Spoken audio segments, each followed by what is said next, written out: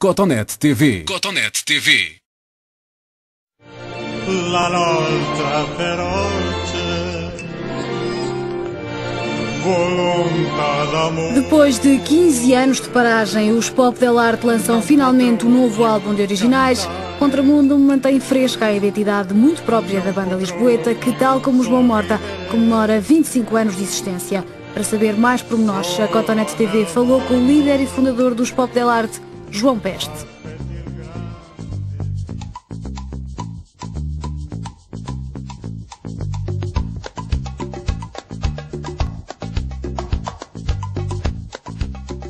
Ah, claro, eh, estávamos à espera deste momento há muito tempo, que era a edição do novo disco dos Pop Del Arte. Finalmente conseguimos, eh, temos o disco pronto e está nas lojas a partir de hoje, segunda-feira, dia 14.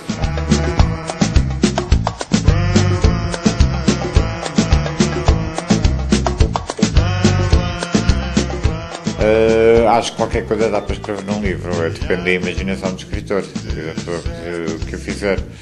Eh, o processo por que passamos ou eh, a estadia também em estúdio poderia dar um- um- uma história interessante, um, já nem digo um romance, nem, nem que fosse um conto, uma short história, uma coisa qualquer, mas isso iria depender, acima de tudo, da, da, da e da, e da imaginação de quem tivesse o encargo de escrever isso. Não, acho que qualquer assunto, mesmo às vezes o mais banal, eh, um bom escritor consegue fazer um texto fantástico. Não, portanto, o mérito, de qualquer maneira, será sempre quem escreve. caso.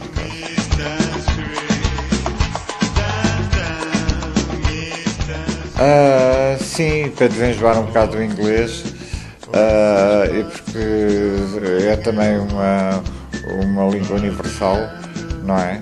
Ah, na Idade Média o latim se- se- seria, ah, não vou dizer que correspondia ao inglês atual, são realidades tão diferentes, porque parecendo que não ir para a nossa realidade eh, é mais fácil eh, se pusermos um título em latim as pessoas compreenderem, eu acho que qualquer pessoa compreende o que quer dizer contramundo. Se tivéssemos posto um título em grego, possivelmente as pessoas já não iriam compreender e eh, tínhamos esse problema.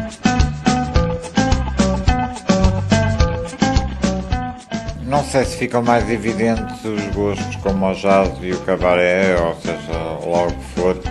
Os pop del arte sempre tiveram uma linguagem eh, feita de várias linguagens, digamos. Sempre usámos uma série de referências muito diversas e, obviamente, o jazz eh, sempre foi uma referência a que. O- A música de cabaré, como o music hall e o vaudeville, foi outra referência que também muitas vezes usámos, mas tivemos outras referências na música contemporânea, principalmente no rock, eh, até porque, eh, em última instância seríamos uma banda de rock, uma banda de rock alternativo, independente, mas temos as características básicas de uma banda de rock, a formação de baixo, bateria, voz e mais um elemento. Ahm, portanto, as diferenças são múltiplas.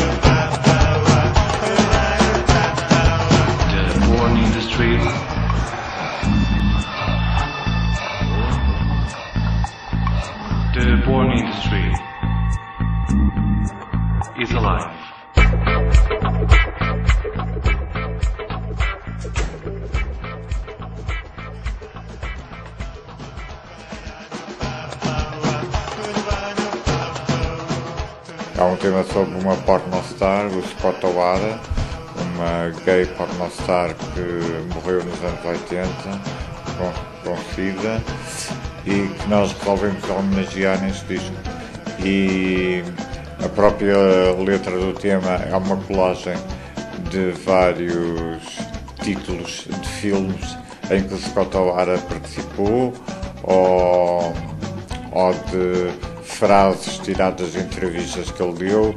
Pronto, e colámos isso, algumas dessas frases e nomes de filmes e assim e fizemos um, o tema.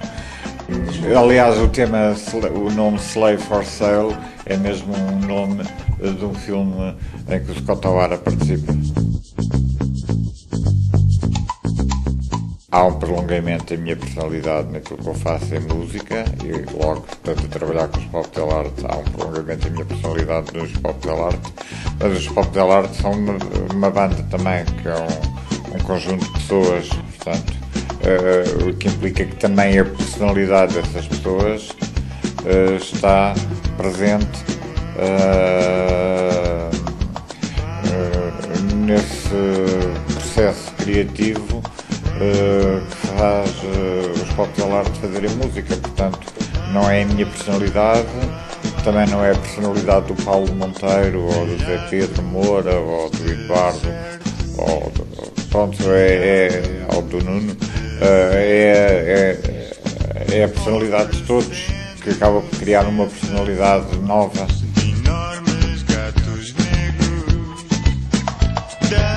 Por exemplo, no caso, há uns que vêm e que ficam algum tempo e depois saem e que se vão começando. Há outras pessoas que parece que têm mesmo um lugar uh, cativo na banda, têm uma posição estrutural que se, de, que se, mantém na banda ao longo dos anos. Neste caso, além de mim, do, é o Zé Pedro e o Paulo que estão mais nessa situação.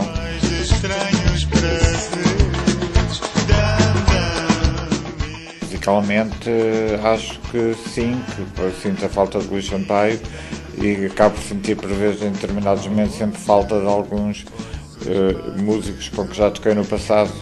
Era pena o, o Rafael Toral não estar aqui uh, para participar neste tema, ou é pena a Undina não estar aqui para pôr voz ali, ou uma coisa qualquer. Pronto, há um bocado às vezes essa. essa mas há consciência de que os Arte para irem para a frente têm que se renovar e foi isso que aconteceu. Não, uh, acho que o Luís é um excelente músico. Uh, pronto, uh, de qualquer maneira estava já um bocadinho complicado a participação a banda por causa de, de compromissos que tinha com o projeto do Rodrigo Leão.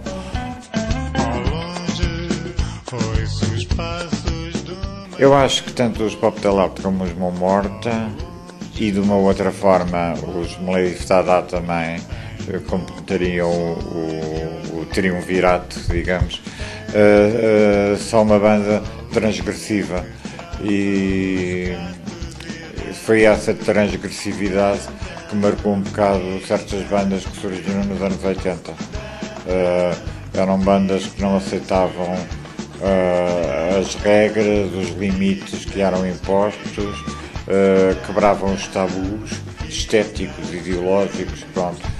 Dependeria do caso de, de, das bandas. No caso dos Mão Morta, a quebra de tabus passou por desde o Adolfo ir para palco com uma, com uma combinação ao, ao episódio de, de sangrento no Rock Rendezvous em que cortou a perna, uh, foi uma transgressão e, uma quebra de tabus, mais em termos uh, sociais e, e, de mentalidade.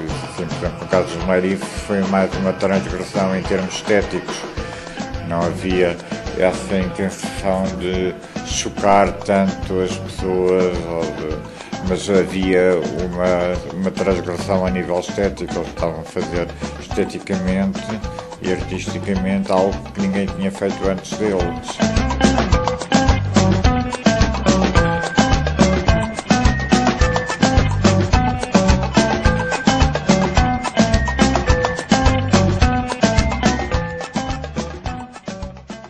Cotonete TV. Cotonete TV.